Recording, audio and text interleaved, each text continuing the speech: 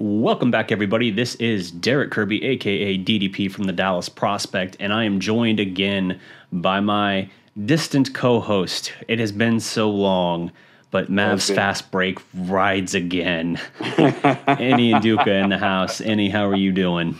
Man, I am doing fantastic. It's good to be back uh, with updated equipment. Look at this, guys. I have my own setup. Uh, It- it learned is from the the, best. master over here. Yeah, it is the best setup and mic bit. you've had for sure. I'm I'm impressed. You got the same mic and everything. We're twinsies. Yeah, yeah. I learned from learn from the best, but hey, it's been a it's been a crazy uh, crazy uh, season. Um, but especially that that last day, that was nutsos. But you know, it's definitely cool to talk about playoff basketball because, like we said last year, these are where legends are made. Mhm. Um, legends are not made in the regular seasons; they are made in off seasons. We don't talk about Dirk and what he did in, in the regular seasons. We talk about all the great stuff he did in the off seasons and all the memories and cool stuff like that. So, here's to making more memories again. Well, they're going to have a tough road to do it because one, it's been a minute since we've accomplished anything in the postseason. It's been Oh, yeah. 10 years now since we won a playoff series, that obviously being the finals. Uh, and it's been so 10 years since we won a playoff series. And how long has it been? Like, I know we went to six games last year. The last time we really threatened was 2014 against the Spurs. We went to game seven. It's like Do. We had the one year with a six game finish, maybe two years in there that were a six game finish, and then like the one seven game series. Other than that, the other playoff appearances were largely like, here's five games here. You know what I mean? Like it, it's tough sledding post title is what I'm trying to say here. So yeah, it's uh It's it's good to feel like you have a team that at the very least is on an upward swing. It's not like all those years where they were just cobbling together these veteran rosters of, you know, your Deron Williamses and guys like that and saying like, "We think this team can." No, no, you don't. No, you don't. you just you're in denial. that that's where we're at. So it feels good knowing that you have a team that's at least on an upward swing. But it is a weird situation where even as we stand now, a 72 game regular season is done, right? By the time you're 72 games through a season, you generally think like, I damn well know my team. I don't know this team. like this team plays up or down to its competition and it's so like some nights it's really really good. It can get after the best teams in this league whether, you know, when they played the Nets, they they smothered them all over them. They can mm-hmm. go into, you know, and I know Knick fans would be thrilled to hear this, but into a, a place like Madison Square Garden against a good defensive team and hold them down, I think, like 86 points or something like that when they matched up. Yeah. So they can do things like this. And you look at it and you're like, yes, that passes the eye test. This team looks like they can actually beat anybody. Mm-hmm. The problem, as it's been pointed out in previous videos, live streams, all that, is they can also be beaten by anybody on any given night. Thank God the Sacramento Kings are not in the playoffs because if they were, just it's a sweep, it's over, we're done. I feel like the Sacramento Kings was uh, our Golden State Warriors of 20, uh, 2007. Uh, the we even though even though even though the, the Kings didn't even make it into the playoffs, but for some reason there's something about that team that we just couldn't deal with. Yeah, no, I, I, I can't. I, I, by the time they got to the third matchup, I was like, all right, surely now they they understand, right? They they get it. The answer is no, no, they did not. No, So yeah, that was that was brutal. But this team did finish hot. I think they won like twelve of their final sixteen. Three of those games came against, um, and you know, three of those losses came against the Kings, as we just talked about. Then I guess there was actually another one too because they lost to Memphis, where they got blown out in the second half, ran out of gas in that game, and then the the finale, which you could tell by the midpoint of the first quarter, they were just like, "Nah, we're done here." we're, not we're not going to go all out. Although they made a little bit of a push, like I think they missed their first 11 threes and then made something like 12 of the next 16, but it, it was already done deal. Once you're down 20 points in that case, you're not going to go all out to try and win that game. So, yeah, it's uh it's a very perplexing team. And as we were talking about before we started recording here, both of these teams are different. Even though you're matching up with the Clippers again, these are two very different teams than last year. I wrote about it a little bit uh, earlier this week for the website, just kind of talking about the matchup and who I think some of the big X factors are going to be. To me, two of the most important guys are going to be Jalen Brunson and Dwight Powell. That being because one, you didn't have them last year. Two, Dallas as a team was actually better record wise and defensively last year before Powell went down. Yes, KP unlocked himself after the injury when he moved to the five, but the team as a whole played better when they had both of them and they were better defensively. Their defensive rating last year fell off after the Powell injury. So I think that kind of gets overlooked because KP finally kind of reclaimed that old form a little bit. And I, as a result, I, I, think that Powell, especially now in the last month, he looks like he's kind of back to pre Achilles injury, Dwight Powell. I think that is huge for this team because he is a more agile defender. KP guarding on the perimeter, not good. Not good. We've seen plenty of that this year to further affirm that belief. And a team like the Clippers, they're going to want to spread you out, right? They're going to want to throw Marcus Morris at him or someone like that that tries to pull him away from the basket where he is a good defender and put him in those situations. But when you have someone like Powell out there, Powell, I'm not saying Powell's a great defender by any means, but he is a hard nosed defender and he is more he's, agile he's than an, KP. He's an energy guy. He's at least yes. good at the very at the very least he's gonna put forth the effort to make something happen. And yeah, I am I am excited to see uh, kind of the Dwight Powell of of I want to say old, but he was younger, but whatever. Hmm of old kind of come back. Uh, it's a sight to see because you know we were, um, you know, our offense was great, even though we had um, you know Dwight and KP in. We kind of were trying to figure out how that would work last year. But uh, I mean, he's the type of guy that he's a great finisher around the rim. Um, he doesn't provide much outside outside of anything in there, but he's he's committed to his role. He knows his role. Mm-hmm he knows what he's capable of doing, and and having guys like that in your rotation can be big time. So, uh, I mean, if anything else, if anything, it, it's it's another body um, that we that is serviceable um, in this in this playoffs. Um, right. You know, we wouldn't have to rely on Boban as much as I love the guy. he's an awesome character. Yeah. He's a very friendly dude, and I think he, he can be vital to to a, a team that's looking to be successful in the long run. He just we can't rely on him playing heavy minutes like we did last year. Yeah. So having Dwight back is definitely welcomed.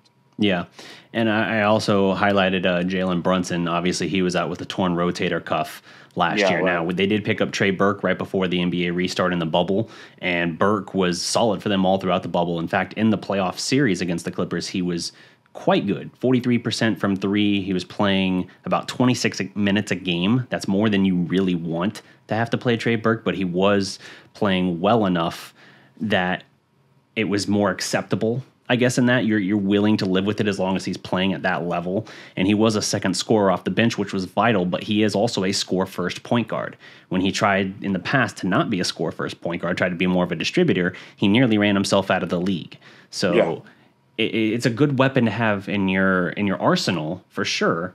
But I would rather have Jalen Brunson because if you compare Brunson's stats this year to what Burke did in the bubble, they're very comparable. Like both guys are like 12.3 points. Now Brunson posted career highs in field goal percentage, I think like 52%, and uh, three point percentage over 40%. So in fact, the only reason he missed 50, 40, 90 is because he was an 80% free throw shooter. So Brunson had a career best year in that regard, but I like I think he's a better all around defender, even though Burke can get you those energy steals and things like that. And I think he's better in the sense that he's more of a distributor, and I think he can run the flow of an offense. Whereas Burke is like, I can energize you by scoring for myself and that just pump you up that we're doing something. But like Brunson's like, no, I can set you up and I can keep everything running smoothly so yeah. that we're in the flow we need to be while Luka's getting rest or while he's at least playing off ball. So I think Brunson is still an upgrade in that regard. And not having him last year I thought was huge. Yeah, and and I'm not I'm not sure if you have the numbers because I definitely don't because uh, you're you're better at this than I am. But uh, I know the the numbers when Luka and Brunson are on the floor. Do you do you happen to know that? I don't have that in front of me, but I did see it. Uh, I think. Uh, yeah, if I remember correctly, it's pretty high up there, and yeah. so I mean, Burke was I don't want to say great, but he was definitely really good for us last year, Mm-hmm. and Brunson has been good for us this year. So it is, it is good to have both of them. Uh, he's, he's definitely going to be uh, something that you know if if uh, you know Clippers are looking at what happened last year, you know, and they're preparing for this team, they're not going to be dumb enough to just completely solely look at what happened last year, but having to pay attention to a guy like Brunson who can be an extension, who can be who can be that other playmaker that we solely need sometimes for you know Luka to get some rest because we don't want Luka to have to do everything on offense. He has to set up everybody too. Um, you know Brunson can definitely handle some of that burden, uh, set up some guys, get some for himself. Uh, be he's a tough dude to guard. He has great handles and stuff like that. He also turned into a fantastic finisher. I, where did I hear that he was like, you know, amongst the top, uh, has amongst the top field goal percentage around the rim or something like Who, that. Brunson? Yeah, Brunson. It was pretty high up. I don't must know. have been I'm in the weird. Mavs broadcast one night or Probably something. something like that. Yeah, but Follow well. you know, he, he's those been he's stats. been pretty yeah he's been pretty impressive this year. Uh, so I'm definitely excited to see uh, what he can bring to us for his first uh, playoff performance. And also too, there's a lot of guys who are trending upwards towards the end of the year. Mm-hmm. Yeah. that I'm you know hopefully they, if they can keep it going there in this playoffs can make us really dangerous. You know, we saw a lot of uh, uh, Tim Hardaway. He turned it on uh, at the end of the season hopefully um, you know it's something that we unlocked and he can keep going um, hopefully mark cuban is giving his dad fresh tickets courtside uh, so that man Yeah. can put up 30 40 points a game and invited his grandmother to every game. Yeah, yeah. yeah exactly he, he was actually on uh, he was on jj redick's podcast Yeah. uh, that dropped today, and he mentioned that, and it was just like, I don't understand why Mark Cuban playing around. You better fly down, freaking Yeah. Tim Hardaway, has sit him down courtside, uh, and you know get the best out of uh, THJ every night. Um, Dorian Finney-Smith, he he definitely came on at the end. He's definitely more consistent shooting. Um, hopefully, he can keep that up again. Uh, you know, of course, we talked about Dwight Powell and how he's you know basically making this comeback. So if we can have you know those people maintain the their contributions that they ended the season with, you know, is definitely something that you know the the Clippers have to worry about. You know what I mean? So Yeah. it's not something that hey, we all we got to do is stop Luka and then we got them, or stop Luka and KP, or limit them, whatever. Like because these guys, to Luka, first of all, Luka is a type of dude that uh, there's there's no really one way to stop Luka because you really can't double team him. Because if you double team him, he will pick you apart. Him and Jokic and LeBron are kind of the you know one of the few people uh, in the league that can handle that. So if other people are are stepping up, because we've seen time and time again, Luka's making those great passes in the corner, you know, those skip passes in the corner of the of the three point line, and these guys are missing wide open threes. We can't have that, you Yeah. know, if we're looking to advance. Um, so you know, with these guys stepping up, Brunson, of course, shooting forty percent, all that, man. I mean, it Mavericks can be a problem. I'm seeing all over YouTube, all over whatever. Of course, like the national people are saying, you know, Clippers and six or whatever. You know, right. but there's a lot of people like 14 saying out of that. 15 experts picked the Clippers. Yeah, And and the one guy that picked wasn't even the Dallas guy. It was Royce Young. yeah, he was an Oklahoma guy, right? Yep. Yep. Yeah. And so uh, I know, but I'm seeing a lot of like YouTubers, and this don't mean nothing, but you, you know, I mean, this people who you know their brand is to watch the NBA uh, and come up with opinions, and they're saying, yo, the, a dark horse based on what they're seeing at the end of the year is the Mavericks. Yeah. Um, and if Luka can get everyone unlocked, we're you know, if we the the goal is this is this is how I look at it. Um, can in, until we've truly built a tighter a title contender, Mhm. can we at least have a team that, if everything is rolling, is capable of, you know, I don't want to say title, Yeah. but if everything is rolling to its most optimum level, then how far can we go? And I think the Mavericks, if- that's the case this year, they can they can probably find a way to go to maybe conference finals if everything is rolling at its most. I don't want your people on your thing to be like, this guy doesn't know what he's talking about. I like, I know what I'm talking about, but because it, it's kind of like 2011, right? right. That team wasn't necessarily viewed as a They were the third best team in the West. Yeah, they're they're the third. They were ranked third, but you know even even the six sixth place Trailblazers were gaining more love uh, than the 2011 Mavs. Especially But- once the Mavericks blew that 2-0 lead. Yeah. Oh yeah, and, and then once uh, Brandon Roy put up 40 to tie up the series, but um, you know they ran at such an optimum level that they were unstoppable.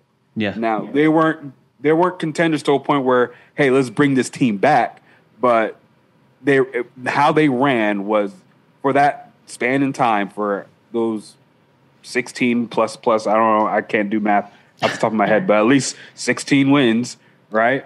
Like, yeah, lost two, Yeah, 16 wins. lost one, lost two. So they went like 16 and 5. Yeah, 16 and 5 throughout the postseason. All right, cool. Exactly. I so can do you know, basic math and add so up for to those five twenty, losses. for those twenty-one games, Mm-hmm. Can they run at a at a level that is so efficient on offense that they were able to win a championship like the 2011 Mavs, or can we go to the you know conference finals like the Blazers did a couple of years ago, Sure. stuff like that. As we're as we're building, or like the 2011 OKC Thunder as they were making their way up, you know, they went from going losing to the Lakers and uh, They got uh, the year before. swept. Yeah, they lost in game 6 the year before. Yeah, to the the Lakers, first and then completely skipped everything and just went to the conference finals, Yep. lost to the Mavs, and then the next year went to the finals and lost to the Heat. Mm-hmm. So can the Mavericks do that? That's what that's what uh, I'm waiting to see. And in my mind, if Luka can get everyone going, and if everyone's running at the peak levels, that is probably what we are most capable of doing. Is probably conference time. I, I think this team has the offensive firepower for sure. Like Yeah. I, I think you know you mentioned Jalen Brunson. Well, I mentioned him, then you added on to it. But Jalen Brunson's three point shooting this year. I'm pretty sure been- you you've mentioned everyone, and I just kind of you know Eh, rode on your coattails. Yeah, it's fine. It's fine. But uh, yeah, Jalen Brunson's three point shooting. I, I think Maxi and Dorian Finney Smith. In fact, that's the next article I'm writing is about the Mavericks developmental system because the development of those two undrafted guys to what they are now. And I, and I know we just talked about Maxi. I think we talked about before we actually started recording, but Maxi's Achilles is the red flag for us, the sore Achilles. That even as I was writing articles at the start of the week, I didn't put as much concern into it. And as we've gotten further into the week and kind of seen like no no this is a red flag that they're watching they don't doubt that he'll be able to play. The question is how effective will he be? And it's like ooh okay because i referenced them at near full health. That's a red flag. But the development of two undrafted guys in Dorian Finney Smith and Maxi. And in Dorian's case, particularly the last two years, he went from a guy that couldn't throw it into the ocean if his toes were in the sand. And now the last two years, I think last year he ended up shooting like 39%. This year he's over 40%. Maxi got a $150,000 roster, or not roster bonus, but a bonus, incentive bonus for shooting over 40% this year. So mm-hmm. these two guys have really become two of the best contract 3 and D guys in the league. And there's a reason why the past two years Dallas has received calls about them at the trade deadline because people are like, "Hey, these are exactly the kind of guys we want to pick up. Really good three and D guys that are stupid cheap." Dorian Finney-Smith is due for a much bigger payday here. Um, it, I don't know if it would be this offseason or the next, but he's he's making only like four million a year. I think he signed like a four I for sixteen. it's probably it's next, I believe. Okay. So, but you've got guys like that that are capable shooters. Really, the one thing you didn't have, and, and as you relate to the 2011 team, is the guy that can run around and come off screens, which brings to the other red flag health wise for the Mavericks right now, JJ Redick. What is his situation uh, as his Achilles soreness has kept him out? I didn't see his recent podcast thing. I don't know if you got any insight into that about how he feels and if he's going to be ready. But he's the only guy that can do that kind of thing where he's just running you like crazy as a defender off of curl screens, where he can operate off the dribble, not just step back, but you know clear out from a guy. It's not all just catch and shoot like a lot of these other Maverick players are for shooting threes, but the Mavericks have the firepower offensively. The question to me is what are their role players able to do? Because I think Luka will be great. In fact, I think Luka will be better than last year. That's the article I wrote about today. The aspect of his game he added that as much as people wanted to highlight, hey, he needs to become a better three point shooter, and he did. What he added to his game, other than that, that's more valuable. And we talked about this, I think, last year when this, uh, Yep. the season wrapped up. That Yep. mid range game, Middies. because he he went from and again all the stats are in the article if you want to check that out oh, and anyone listening to this want to check that out it's on the website thedallasprospect.com his his efficiency there his usage rate is three times higher than last regular season in that regard. Mm. He went from 7% to 21% usage. His efficiency last year against the Clippers shooting mid-rangers in the in the first round was 36% conversion. He's up over 50% in the regular season this year. So Jeez. he's had substantial growth, not just in usage, but in conversion. And last year, if it wasn't a step back three, basically, because we know he loves to take the more difficult three point shots anyway, if it wasn't yeah. a step back three, he had to go all the way to the basket and get clobbered and he got yeah. mercilessly beat on in that series. And so the fact that now he can operate in that middle ground, and it's not just, oh, he put the ball on the deck, I just got to retreat back to the basket and let my collapsing uh, defense, help defense come over and smother mm-hmm. him. Now that you can't just think about that and you have to worry about that mid range game where he is suddenly turning into a bona fide assassin, yeah. he is damn near unguardable. The fact that he also added the three point shot career high 35% this year. And if mm-hmm. you take mm-hmm. out the first month of the season, he's better than that because we know how bad he started out shooting threes to start of the year.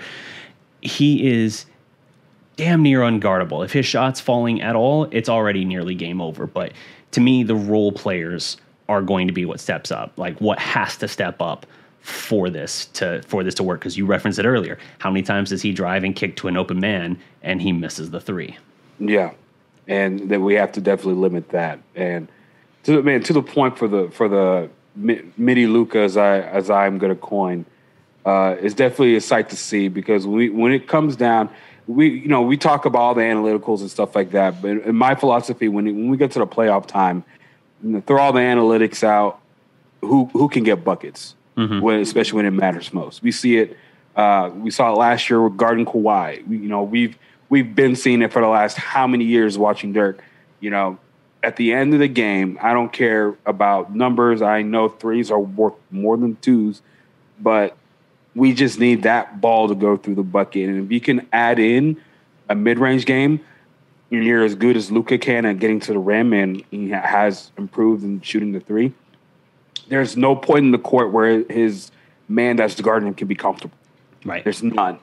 And of course, he can also uh, you know, sling that ball around. So, you know, literally there's no point in especially when, you know, the game slows down in the in the half court yeah. where if Luka has the ball, it's definitely, you know, some something can happen. You know, like, oh, if this person has the ball, this is this, these are the possible outcomes. He can either shoot it or he's gonna like if Dwight gets the ball, he's going to either look to pass it or whatever. If Tim has the ball, he's probably Tim Hardaway has the ball. He's probably going to shoot it. Probably, probably. this viewer, he's probably going to shoot it. He doesn't care where the defense is. Um, so just try to get in as space as possible. But if Luka has the ball, what are you going to do? There's right. no, there's no, no real game plan. It's hey, right. This is how this is how mid range unlocking mid range Luca. This is what the effect of that can be. You remember of course, back in 2011, and I'm sure people remember, but when Dirk was playing against when Dirk was playing against the Thunder, mm-hmm. and we saw we saw uh, the coach wired, and we got to look at we got to hear what Scott Brooks was saying to the to the Thunder. What did he say? Dirk Nowitzki, he's gonna do what he's gonna do. Yeah, like there's not. There's literally he was literally telling his guys, look, there's nothing we can do about that. Right. Got to put effort. Hope he misses it. And if Luka can, if Luka can, you know, get into that bag, we can be in any game. But you, like you said, um, Tim Hardaway, Brunson. If we can get Kleber, if he can be healthy enough to come back, and the real, the real X factor is KP and his health. Yeah, really. If we can get bu- if we can get bubble KP with good health, we can win the series if you get bubble KP with the improvements of the roster otherwise, I think you have a team mm-hmm. that can go to the conference finals like you were talking about. Yeah. I, I, like this team last year, I think the only reason they didn't win the series last year is cuz they lost KP. And yeah. this year they've had to play without KP so much that I think they're better equipped to deal without him now. And that's not to say that their ceiling is higher. It's certainly not. If you have KP no. and he's playing peak KP unicorn levels, then yes, your ceiling is as high as it's going to go in that case. But you've played without him so much this year that I don't think they fear having to play without him. I think they're just like, all right, well, here we go. Because they've had games like that. Like when he went down last year and they lost him after game three, I think that was a little bit of a shock to the team because it was like, oh, dude, we were already under, like, under, um, under the gun, so to speak, you know, outmanned, outgunned. And now we just lost one of our two dudes and he's been playing out of his mind. This is a big Yeah. blow to the team. First team all bubble. Exactly. the most pointless credential or whatever ever. But yes, um, losing Bubble KP, I think, was devastating to the team last year. Yeah. This year, they've had to go so much without him. And even when he's been here, I mean, we'll be, I'll be frank, like, he's been so up and down, so wildly inconsistent that Mm. if he puts forth a good game and you don't win, you're like, damn, that feels like we wasted it, you know? Like, Yeah. we wasted it like figgy pudding. Like you just don't do that, man. You got to capitalize. and so for that situation, it's like they've played so much either without him or with him there, but not on. Whether it's physical, whether it's mental, just not quite clicking. That I think they just kind of roll with it now. They're just like, whatever. Like we we've gotten we've dealt with this all year. All these guys got these minutes and got this experience, and you know we'll we'll handle it as we have to. But you're right that for Dallas to have its best chance to move forward through this, they need some facsimile of Bubble KP back. They need some measure of that. And I don't know if we're going to get that because Bubble KP was off of a two month layoff of just being able to work out and stay working at his game and mm-hmm. everything. It was also then an eight game regular season restart to really ramp up. I know he hit the ground running pretty quick.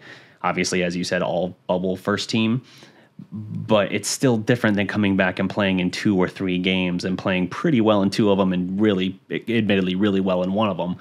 It's it's just different. I feel like, but we'll see. I mean, if he can if he can string it together, great, because that this team really needs really needs him to do it. I mean, they, their hands are very full this year. I will say we've been talking a lot about the Mavericks. Obviously, I will say as it relates to the Clippers, I think that they they were very bold in their tanking against the Rockets and Thunder. Literally Yeah. the two worst records in the Western Conference.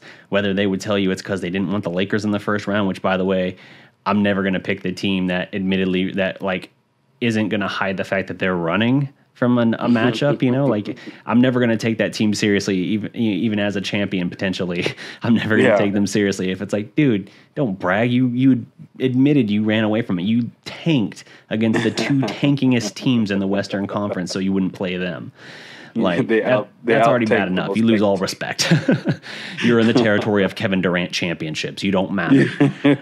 and uh, but the fact that they tank that and they make that move to draw the Mavericks for a rematch, I guarantee you that that resonates in the Mavericks locker room. Not only do they know and remember last year, not only are they motivated to prove something, not just in the playoffs again. Oh, it's the same team as well, and they did what? Because they thought we were their best matchup. Oh, mother! Like, I think that this team is incredibly motivated coming into this matchup. Now it's a different Clipper team. Doc Rivers is gone. Obviously, he's in Philadelphia now. They're the number one seed in the East.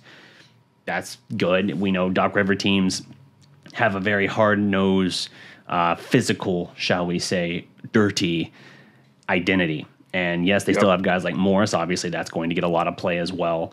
But it's a different team. Lou Williams is gone. Montrezl Harrell is gone.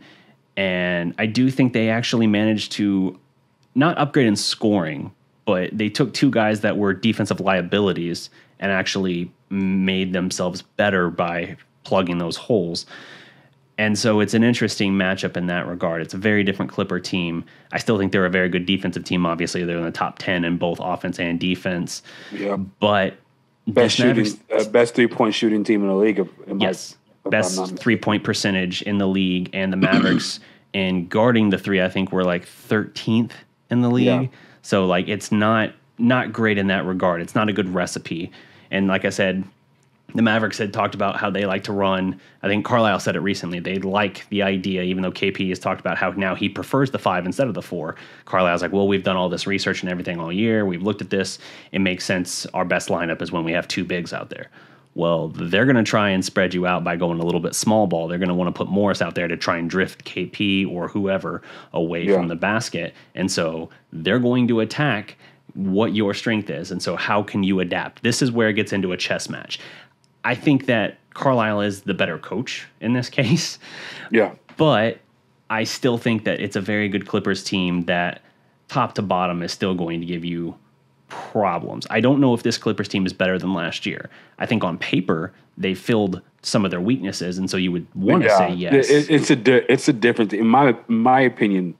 Um, with the addition of Ibaka, Luke Kennard, and the subtractions of of uh, Montrezl, you know, let, us talk about the the swapping of Montrezl for Ibaka. I don't think Montrezl all around is a better player. Mm-hmm. Six man of the year but- last year. yeah, but Serge is a better fit for what um, what the Clippers are trying to do. And another thing that worries me about the Clippers, and we we cannot sleep on the addition of Rondo into that mix. Now, I will not I'm wear another jersey. No, we're we're not we're not gonna we're not gonna make you do that, Darreck. You worked so hard this year. We can't we can't bring, bring that back. I can't, I can't Um, relive the yeah, memories, man, even um, though it's literally part of the intro. Me ripping the lawn, uh, the Rondo jersey. So I mean, we, we saw what Rondo did for the Lakers last year. He wasn't very good for them in the regular season, but come playoff time, he was probably the third best player um, in the bubble. So, and what we saw from the Clippers during the offseason, they were clamoring for a a playmaking type point guard. Um, Patrick Beverley wasn't that. He's not that. He's a more of a I'm a three and D type point guard. We need someone who can another playmaker, score type um, to play around me. I'm just gonna you know guard the best, you know, the other Yeah. team's point guard and probably give him as much hell as I possibly can. Um, but Rondo is someone that can play defense on the other end and also set up guys like Kawhi, guys like Paul. Um, so that's kind of the thing that's uh, kind of worrying me about the about the um, about this series. And another thing is uh, is Paul George. Now we all know he has the uh, he has the um, I guess the stigma of you know he's never really gets Pandemic up Paul. The, playoffs. And and yeah in hindsight yeah that's definitely true. He definitely didn't uh, play up to what he's capable of last year and the year before and the year before that. But the thing is you cannot you can't prepare for that. You can't count on that. And even if he's having a bad game you can't be like okay pandemic p is back. Let's you know put a weaker defender on him and use our better defensive resources elsewhere. No, you can't you can't sleep on him if paul george is on the floor you have to respect him right so um and Kawhi, that's just you know, it's Kawhi. He's Yeah. a great defender, great scorer, uses the mid range. He's a threat, three level scorer. Um, you know, so these are kind of the things that uh, you know we're definitely, I'm definitely worried about um, in terms of matchups and how how what what resources are we going to use defensively uh, to kind of mitigate you know Kawhi to mitigate Paul George. Um, what are other what are other threats? I know we had like Luka on Marcus Morris last year. Yeah. Um, what are, like what are we going to do for the other and guys? Morris, 'Cause I think Morris tore us up last year too. he did, yeah, and we damn Over near lost 50% from three. We damn near lost game four in. Um, if it wasn't for Luka's crazy step back thirty foot Yep. three point, which I still, I I'm excited that shot went in, Mm-hmm. but that was a bad shot.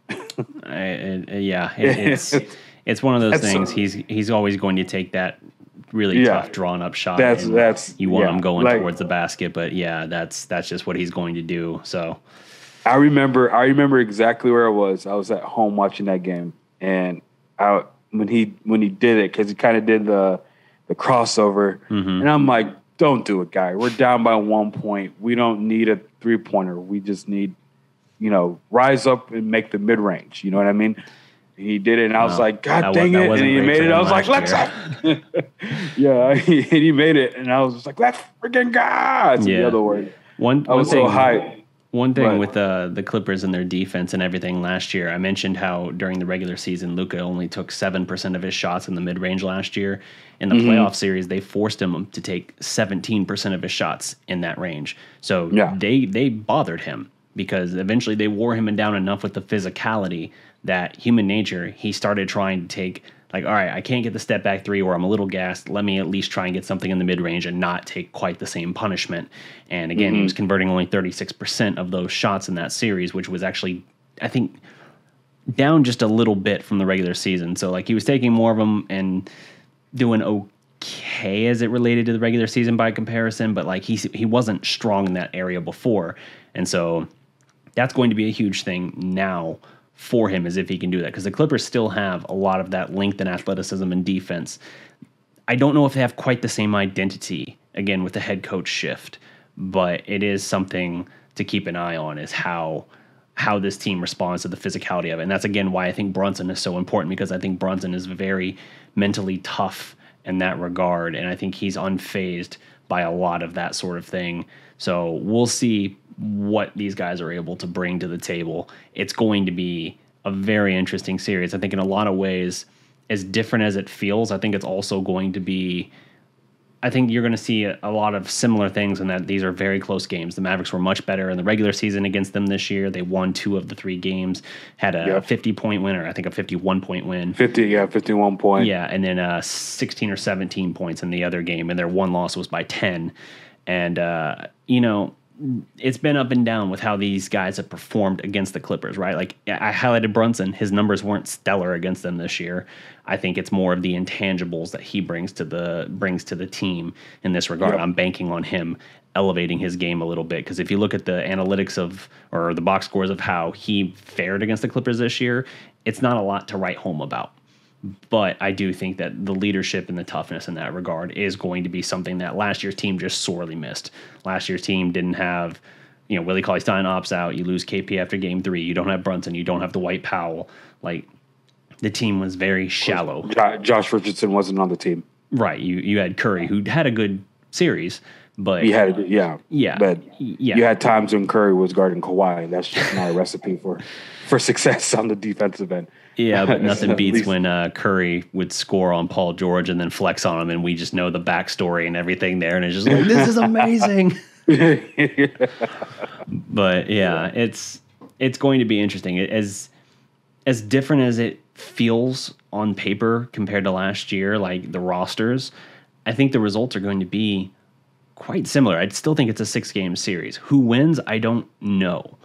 I think this Mavericks team of the decade that we've been waiting for a playoff series win, I think this is the most equipped team to do it. And I'll say that even though the 14 team as an eight seed took the eventual champion Spurs to game seven. That Yep. team was playing way over its head. Like that was that was smoke and mirrors Carlisle at his best making Yeah. that team work. And they finally just ran out of gas. This team actually is equipped where you look at it and you say, not only do I think they could win this series, I think they're capable uh, of getting hot and actually making noise in the next round. You know, I don't know how far they go, but we've seen they are capable of beating anybody this year. And Yep. good news about the playoffs, as bad as you were against sub 500 teams, there aren't any anymore. yeah, nope, there's none in the playoffs. well, actually, you know what? What are the Grizzlies? Grizzlies are the nine seed, nine ten. The Grizzlies just beat the Spurs as we were recording this, so that's the nine ten. So I guess theoretically, you still have a sub five hundred floating in the wings, but yeah, we uh, definitely got our butts whooped against the Grizzlies this year. yeah. but uh, that's that's pretty much the good news of the playoffs is especially in the Western Conference, you don't really have to worry about sub 500 teams wrecking your team. If you're good against the better teams, good news. That's all you're going to see. Yeah. Oh, the Grizzlies. You know what? Let- let me I, ask you a I, besmirched the Grizzlies. The Grizzlies are 38 and 34. I besmirched their good name, oh, so they're okay. So they're above 500, which means that we They're should still- do better anyway. For some reason, they're still for some reason our kryptonite. Um, they're like a whole team of uh, Maverick killers. But anyway, Yeah. Let me ask you a question. What what are, in your opinion, what do you think is the best five for the Clippers, and how do you think we match up The against be- are you talking about like who the Clippers would start? end? Re- repeat that one more time. Who? What is the best five to end the game if you're the Clippers? Oh, the closers for the Clippers. Yeah, Let me here. I want to take a look here. I mean, obviously, you're. I think it will be probably Rondo at the one, hmm Paul and Kawhi, Morris and Serge. Yeah, I, I think that's probably about what I would go. Obviously, your top two aren't going to be any question. Rondo, as much as I hate that this is a thing, playoff Rondo is a real thing. He just didn't Yep. want to play that one year and uh, that year in Dallas. So last year he was garbage in the regular season for the Lakers, and then he was a much better player in the postseason. So I imagine we'll probably get another healthy dose of that. We'll see a pretty good Rajon Rondo in this. He'll probably, like you said, close as a result. And so your top three will be that. I think Morris for his defense um, in that regard. And, And yeah, three-point, I think that's a pretty fair. I think that's a pretty fair thing. I'll tell you uh, an X factor I, I kind of do worry about in this series, just because we know how front court players have manhandled the Mavericks this year, and this guy in particular did it too. Boogie Cousins is going to be a thorn in our. Oh side. I think. gosh, yeah. I, I think that he is such a scoop off the street for nothing for them, but at the same time, in exactly this matchup, he killed us this year, even when he was with Houston. Mm-hmm. And we just don't play great against front court players. And so Zubac was a problem for us last year anyway. And now they have Boogie Cousins as well, like in, in reserve. And it's just like, good grief. So they're going to have to Yep. figure out something. They're going to have to be more physical inside and rebound because if you're letting him off the bench kill you, you're probably in serious, serious trouble anyway. Yeah, that's something we. I mean, we need to address, and it's good that we have the bodies that we do. Um, but you know, we still manage to find ways to ha- let these big men have career nights against us. But uh, based on that uh, closing five, what would you? Who would be your closing five for the Mavs to match up against that? I mean, Brunson, Luka, Would you want KP. to? Would you want to keep Brunson out there to? Yes. I, I would have Brunson, Luka, KP. Who's he guarding? Who's Brunson guarding? Rondo. Yeah, Right? Rondo. Yeah. I'm thinking about this like literally on the fly. Yeah. Uh, and then you would have to put Luka at that point on Morris. Morris. Yeah, probably on Morris Mm-hmm. again. But then who do you put on Paul George? Dorian Finney Smith? Or do you want to save him for Kawhi? Because you got Maxi and you got Dorian Finney Smith. If you're fully healthy, It, all. It all depends on how Maxi is feeling. okay. So if that's If the Maxi, case, if then- Maxi's good to go, Maxi is part of my closing five. yeah, I probably will put him on. I probably will put. I probably will put Maxi on Kawhi. Just hey, use your length and Right. hope that he misses. like, and um, I think your closing five is basically your starting five, with the exception of Hardaway and Brunson swapping. That that's just my thoughts on it. And if you're chasing in the closing moments, maybe it's different. Maybe you do have Hardaway out there. But I think Yeah. if you're in a back and forth, like one or two point game or something like a one possession game, uh, I think I'd rather have Brunson out there for the total package he's bringing and the orchestrator and everything. So, yeah, it's it'll be interesting, and we'll we'll definitely be doing these. I want to do throughout the postseason, however long that is. I want to do uh, us record just like this. Doesn't have to be as long, but us jump on and at least give our initial reaction to the games, and then uh, upload it that night because w- there's going to be win, lose, whatever. There's going to be a lot of interest around it, and people are going to want to know. And so I don't want to wait until the following day or afternoon or something to Yep. to get something out there. So we'll try and tighten that up and do that, but it's uh it's exciting. There are so many storylines floating around this series, and we we touched Yep. on several of them, but I, I don't even know that we we covered everything. You know, it, it's really an impressive. From, from a from a writer perspective, hey, it works for me. from a writer perspective, there's plenty to dig into, and I've been trying to do that this week with the the three or four different articles I've already put out on the site. But we'll see, man. Uh, let's see. Anything you want to add before we wrap up? Yeah. Uh, maybe no, I think that's about it. Terance Mann comes to mind. That's another guy we need to look forward to. That's another guy that's probably they're going to throw on Luka. That I'm thinking of. Like I'm really trying to think about what are some bodies and some chess pieces that the Clippers are going to use versus what can we use. Are we going to see Josh Green? Probably not, but he definitely had some uses last year, and maybe it can be a change of pace. Um, and I think you if know, they come out stagnant in a game, you might see him get injected in there just to bring some Yeah. energy and try and wake Yeah. things up. But yeah, Yeah, I think it'll be very, very all- limited, if at all. Yeah, I wish he got more playing time. We need, we definitely need his energy and, and his length. Um, but other than that, man, I I think that we pretty much covered it all. Hopefully, I'm a little rusty. I haven't really talked about anything sports. I tried to set up a podcast. Still working on that. I think I'm going to start at the beginning of the off season, Okay. um, just so I can have a, a good starting point with a lot of stuff to talk about. And I'm not coming in midway of the season.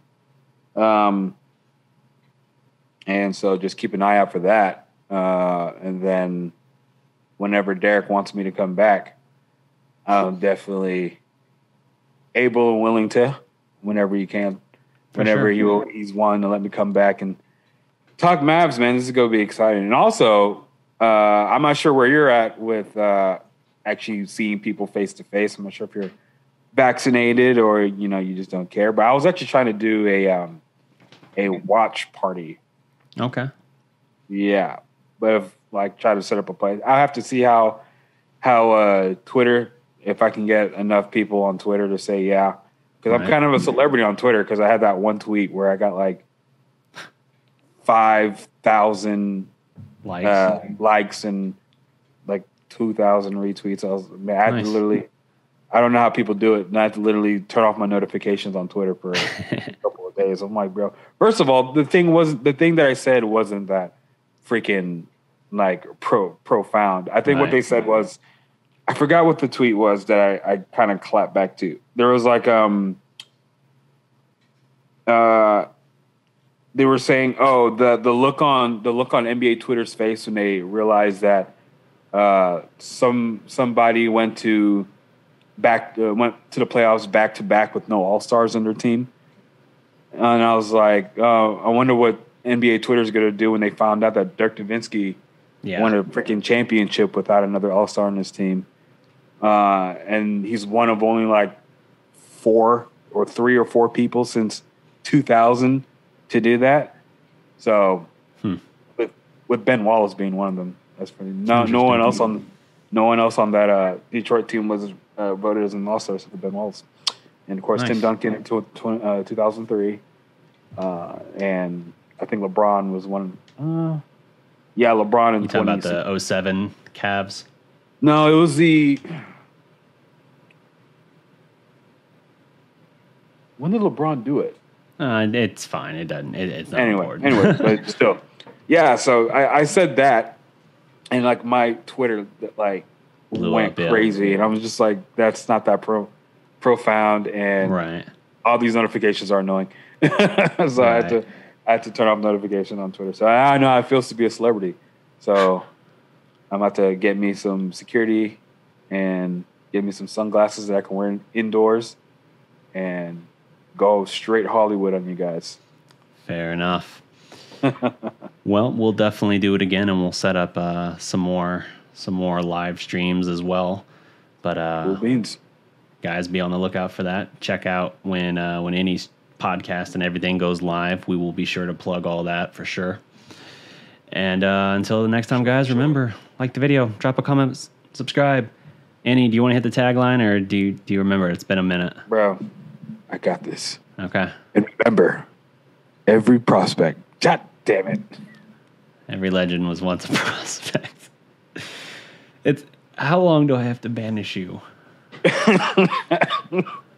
It's been a long time. And remember, every legend was once a prospect. Peace.